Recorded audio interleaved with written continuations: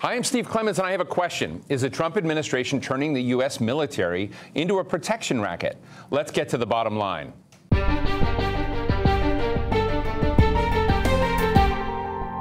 Burden sharing. Many American presidents have pushed this line, but Donald Trump has added a new dimension, arguing that allies of the United States have to pay more for, quote, protection. He has berated NATO allies, handed Angela Merkel a handwritten bill for $2 trillion on one occasion for money owed for Germany's protection, and moved on to Saudi Arabia. And last week it was South Korea's turn.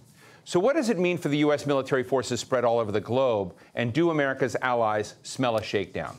Fortunately, we have three people in the room who have all the answers to these questions. Admiral William Fallon, who has headed, who has headed both U.S. Central Command and Pacific Command and served as a presidential envoy to Japan. Laicie Heeley, chief editor of Inkstick and host of a podcast on military affairs called Things That Go Boom.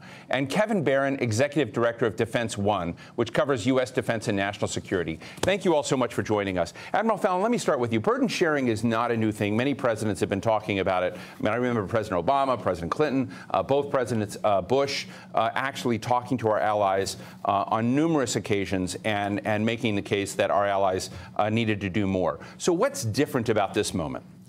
Well, Steve, I think uh, before we get into this, it would be good to just keep in mind that uh, this is a complex uh, question, and the arrangements that we have with different countries are almost all unique.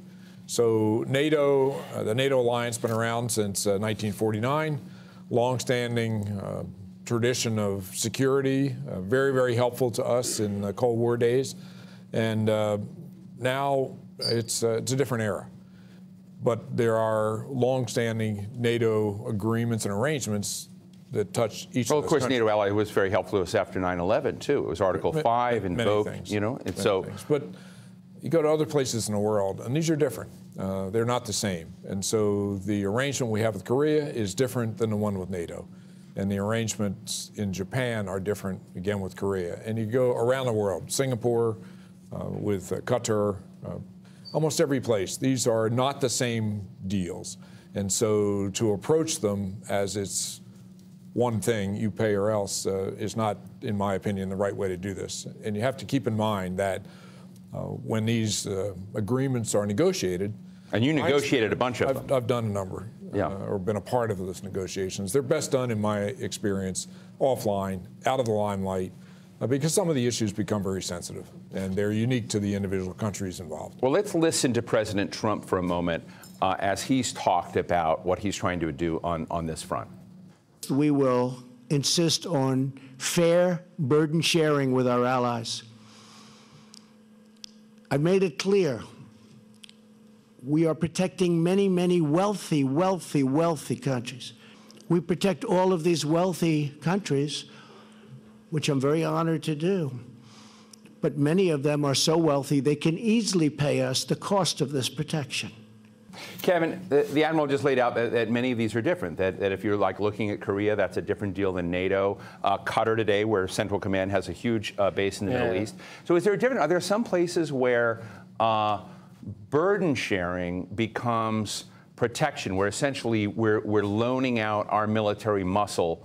Uh, for pay, running the well, prop, you know, running the Pentagon at a profit, if you will. Hey, look, it, it, yes, if that's what you listen to the president's word, but when you ask but it doesn't, I mean, like, oh, wait a minute. The president word, president words, well, uh, you know, does a, matter, right? I say it depends. It yeah. depends how you look at this. Yeah. And then when you ask anyone in the military about why all of these agreements exist, it's because the United States has an enduring interest that these things exist. Mm. If, if, you want a United States military that's able to react to a threat abroad or to act as a deterrent abroad, then the United States needs partners and allies. That's just basic 101 defense doctrine, right? Mm. So you need an agreement with, you know, to have basing. You need an agreement to have access to ports and overflights with all these individual countries. But I think we're already way down the weeds from what kind of real, the, the bigger question here, which is Donald Trump has brought a new way of doing business, a new way of doing foreign policy, and he's done it by the will of the American people, or at least the Electoral College, uh, and a new era. And I think we're arguing a lot about the means, not the ends. Like you said in your opener, Obama and every other president and every other defense secretary and Joint Chiefs chairman before them uh, all had the same message to NATO. Please, you guys should pay a little more. You should meet your, your debts a little more. And right. even Democrats like Carl Levin were pressing I, the Koreans I, I, to do more. I get all that. I just want to I want to push you just an inch more before I get to Laicie, and she's sure. going to you know correct all of us on this. But I want to I, I want to ask you if if you ha- set up the, the regime that our allies that we have strategic interests in partnering with and deploying U.S. forces for, that we have someone out there that says we're not going to pay. Because paying for U.S. military bases and installations is sometimes a controversial thing in these countries. It's not Absolutely. an easy, it's not an easy deal. Uh, and as the admiral said, most of these are dealt with without the, the spotlight on them, and they're done in closed rooms yeah. because it is domestically controversial. What so what happens? But what happens yeah. if a country doesn't pay? Uh, well, I don't know that we'll find out if anyone doesn't pay. You know, that's they could try to call Trump's bluff. But look, I, I think there's a point that there's a reason why the admiral was involved in negotiations like this, and not the president of the United States. This is not presidential business usually, but Donald Trump has made it his business. And I, I, another uh, another dimension of this, I think, is we're, we're, in a generational change. There are populations of, of you know American voters and uh, populations in these countries that we're dealing with that don't remember the last 50 years or don't maybe appreciate the reason why American troops are stationed there to begin with. And so the controversies of places like Okinawa or Korea, mm. where you know local populations may have had beefs, maybe changing over time. And the, the more that Donald Trump frames this as a protection racket as, as you know, we're, we're, we're going to protect your countries, and I'm honored right. to do it, rather than it is in America's security interest that we protect these, not just these countries, but American interests in these countries, and our economic interest, and our social interest, you name it. Right. Laicie, I was amused at, at, at one point in our history that, uh, and, and Admiral Fallon may have been involved in this, I'm not sure, but in the early 1990s, in the first Gulf War, the Japanese did not participate. Then the Assistant Secretary of State, Richard Solomon, uh, made a big deal that the Japanese didn't participate in sort of in, in blood uh, and, and, and force on the line. Uh, so the Japanese wrote a check. They wrote a $13 billion check. You know, $13 billion went further than at that time. And we actually made a profit. The United States made a profit uh, off of that war. And it was the first time I ever thought about running uh, the Pentagon at a profit. But how does this feel? I mean, you're, you're, you're a specialist and you kind of talk about our American military commitments today. Does it make sense that President Trump is putting pressure on allies to contribute more? After all, the United States is less uh, of the size of the economy that it once was. It is still maintaining a global infrastructure of security. Yeah. Shouldn't these nations pay a lot more? Yeah, I can't say that I agree with uh, running the Pentagon at, at, a profit. I don't think that's exactly what we want to be doing. There's, there's absolutely, I agree with Kevin that there is, uh, it is in the U.S. interest for us to have these bases overseas. It's basic 101. We have to have allies. But uh, what Trump is doing, I think, is actually turning this on its head, and he's going down a, a road that that many uh, presidents, uh, many uh, lawmakers have gone down before, saying yes, we our allies need to share more of this burden, uh, and he is he understands that this is a super political situation. He understands that people inside the U.S. Uh, are not going to be excited about closing any bases, whether those are overseas or, or domestic. Uh, he understands that some people, some of our allies, don't actually want our bases there, and so if he turns this on its head and he says, well, this is a protection racket like I'll do it if you really want me to, then it allows. I mean, it's dangerous because it puts the it, it, puts the the onus on our allies to say, sure, we don't want well, you here. Well, it does exactly what President uh, Ambassador uh, um, Ambassador. Sorry to give you a, a different promotion, but uh, Admiral Fallon just just talked about, which is to drag this out in the limelight. It becomes controversial everywhere. Let's listen yeah. to President Trump talk about uh, his his latest uh, uh, conquest. Uh, but South Korea is costing us $5 billion a year, and they pay, they were paying about 500 million for $5 billion worth of protection. Uh, and we have to do better than that. So uh, they've agreed to pay 500 million more, and uh, over the years it'll start going up. Admiral Fallon, you know the Pacific uh, region very well. Um, the real numbers are that Korea paid about $900 million in change last year. But what is, what is the, the issue that we're really trying to, to, to drive at here? Uh, should we be asking uh, the Koreans to amp up what they're doing uh, at the level of 5 billion a year? What does that do to the integrity and solvency of that, um, alliance? So, without getting into the details of the numbers, uh, what I believe we're seeing here, frankly, is the behavior of the president from his past life, in which it's pretty well documented that his uh, his mo is to go in and hit him in the, in the nose with a big number or a big threat or a big something and intimidate them, and then, then they'll back off. But my experience, this is not the way you do international diplomacy, and particularly in Korea but Korea. this is South Korea, right? on the on the border of North Korea, which is threatening the region with nuclear missiles and weapons and warheads, threatening Japan. So the one that gets the bloody nose is our ally. So uh, Korea is a very interesting situation. Again, gets back to this point about each of these arrangements with different countries around the world and the U.S. are unique. So in Korea, the history here goes back to, I'm not going to recite uh, since uh, the Korean War in 1950, but as a result of that war, the UN was asked to go to the defense of Korea. After the armistice, and it's worth noting that in Korea, there is no end to the Korean War. It has not been adjudicated. It has not been settled. There's just an armistice. It's been in effect since 1953. Pretty interesting, huh? So uh, the war could start again at any time. The point is now, we're there and we have a very um, different arrangement in Korea than in other places.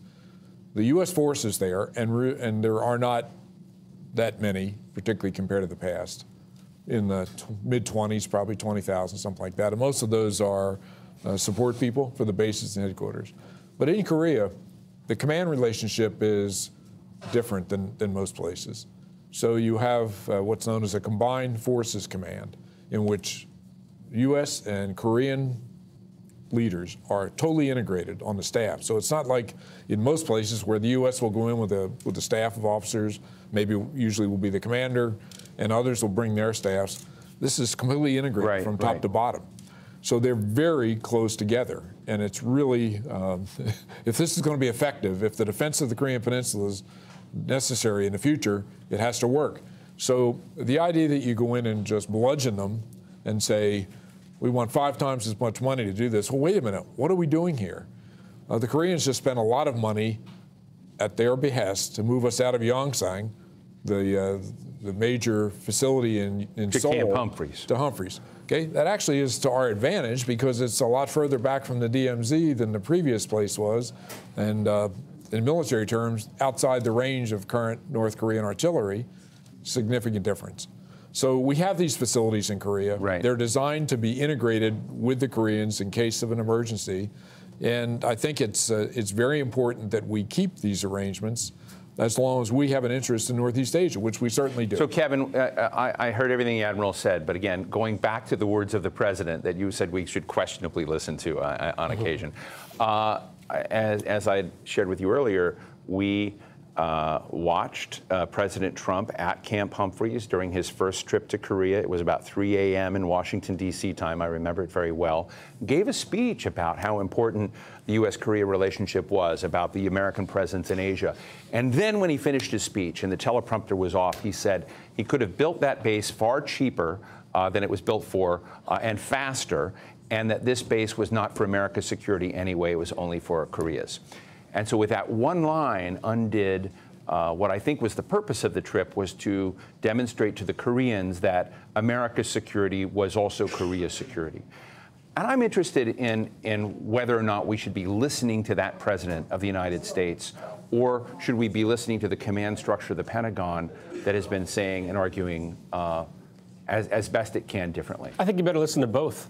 I, you know, I think absolutely you, you, need to listen to commanders in the Pentagon and around the world who give their, you know, advice, and they're the ones on the front line saying this is what we believe is needed to remember to execute the policies that they're given by the president, by the White House. You know, sometimes, right. you know, they're they're lobbying in their own way for the kinds of you know forces and equipment and agreements that they need.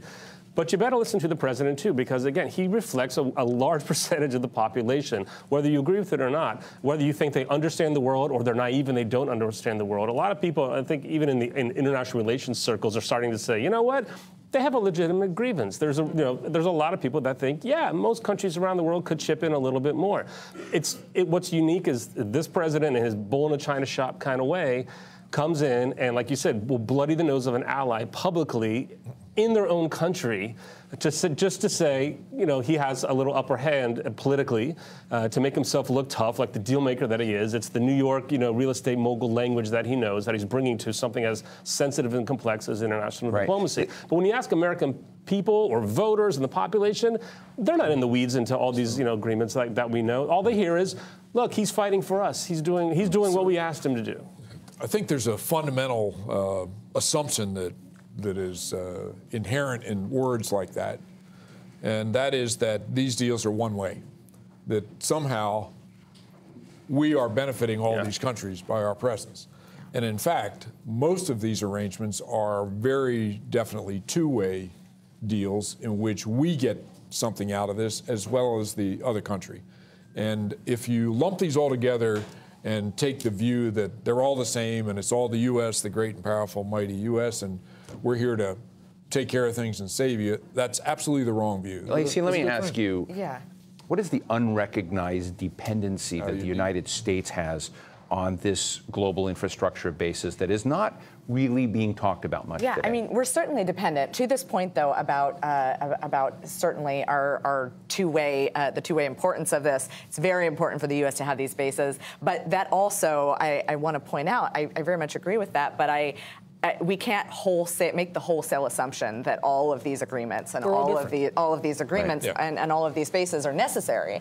And I think that's certainly. I mean, you mentioned Incirlik. It, it, we have U.S. nuclear weapons stationed 100 miles from the border of Syria.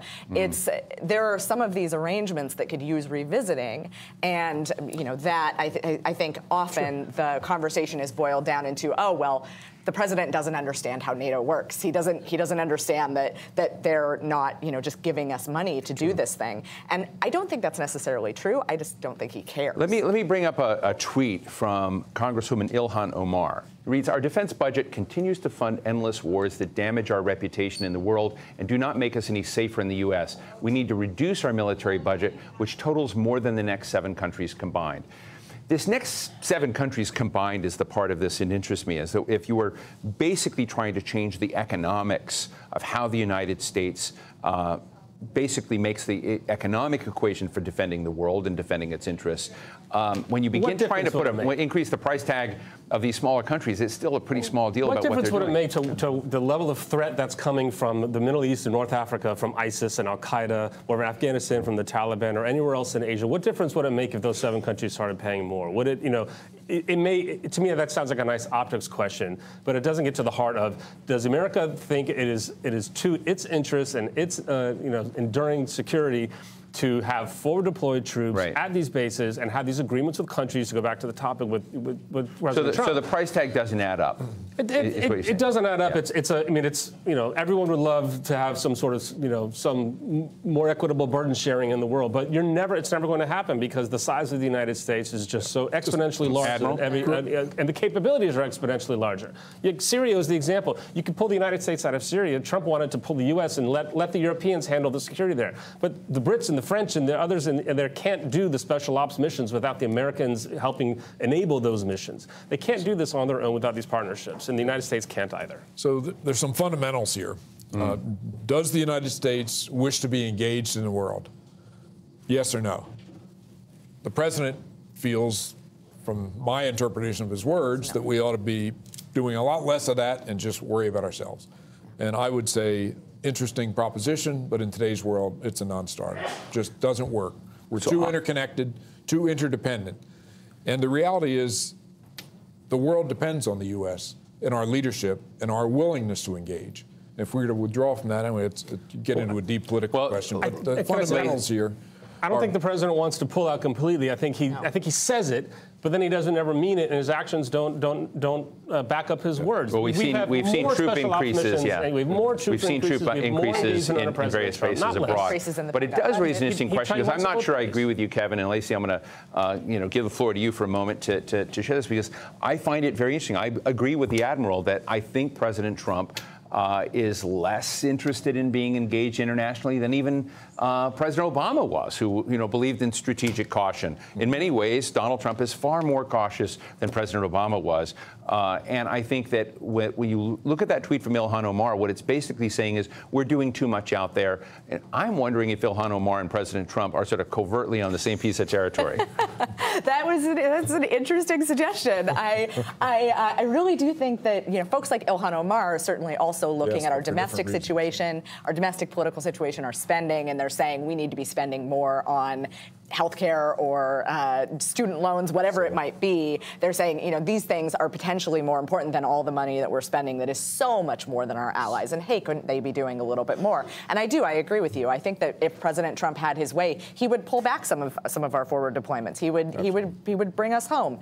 And uh, not entirely. I don't know. I can't speak for President Trump, but I uh, I think some of the uh, think tanks and the groups that he's working with, uh, their perspective would, would be that we so can let me do ask more you, in, in, in, the last bit of time we have, um, ask you just, just for short snapshots that if you were given the task, if you were working for this president, and part of your task was to recognize that we're in an inflection point, the United States is in an inflection point after World War II, we can't maintain the same uh, level of global bases and global presence, where would you roll back? Where would you uh, where would you roll back and but but maybe where would you raise the price if you were going to keep American presence uh, to our allies. Admiral Fallon.